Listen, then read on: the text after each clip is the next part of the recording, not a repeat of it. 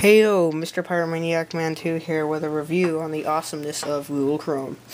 Google Chrome is basically a very fast version of the internet that, you know, obviously was invented by Google. And who doesn't want a faster internet? Sorry with that little obstruction. I made this monopod out of PVC. Anyway, here it is. That took like all of, what, five seconds? And then what does it take the regular internet? I don't know how long, it's just crappy.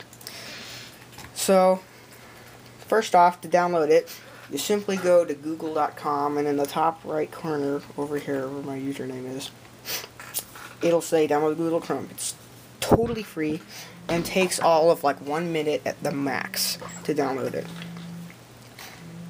So, first thing with some sites, type G, Google, it guesses you're typing Google. Right here it says press tab to search. You can automatically search Google.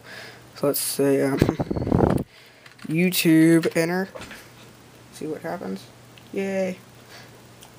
Right there. Okay. So, other things about Google Chrome. It's very fast and it gives you automatic options. Like you got the www dot. If you type in e, wait a split second, eBay. It guesses what you're trying to do. And then enter, and it goes there pretty fast. Okay, then you can bookmark pages and find them.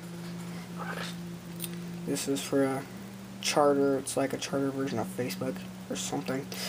And look, it automatically saves your password and your username so you can just hit login really fast. Now, if you're wondering, I don't want to do that because someone can just get on my computer and they can get in whatever they want. That's okay. It'll offer if you want it to save the password or not. And you can just click not if you don't want to. Thing, things called incognito windows, which are the same thing except anything you do is not saved. You know, it's not saved in a search bar anywhere on your computer. Unless you're going to a site that takes the information and saves it in its databanks, it can't stop that.